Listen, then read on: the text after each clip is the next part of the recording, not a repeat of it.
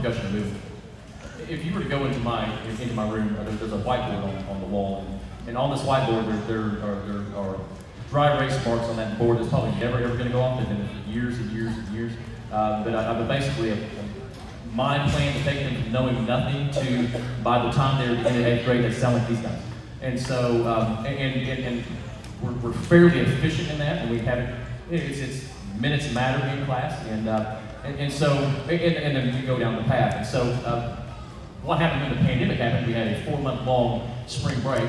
Um, that, that caused that, that uh, I call it sharpening an axe so you cut down very big trees. And so we, we didn't get to sharpen an axe for four months. And then the next year we showed it and we had masks for a year. And then we had to take a walk every 14 minutes to keep the health department's on us. Uh, so, and so we progressed across the board, just not as fast as what we do on a typical year. And so um, this, this year, um, we are like as fast as we can go going down that path to sharpen their axe. And so um, the um, the only class unaffected by the pandemic is the secret. They're the only ones because um, they're starting fresh in a, in a essentially a fairly normal year. Everybody else, we are uh, playing a little catch up on axe sharpening. So, because typically, you know, I'm just feel like I need to explain. The reason we normally play three songs a piece, but we're playing two because we have to choose quality or quantity, and I pick quality.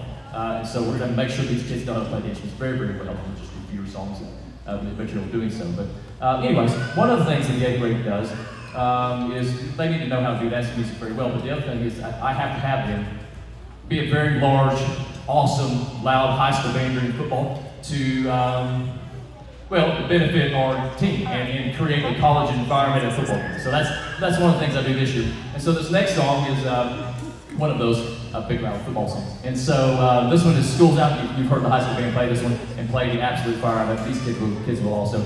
So this last song is, and it's kind of pertinent because we're getting near the end of school too. So uh, anyways, this song is School's Out. Hope you enjoy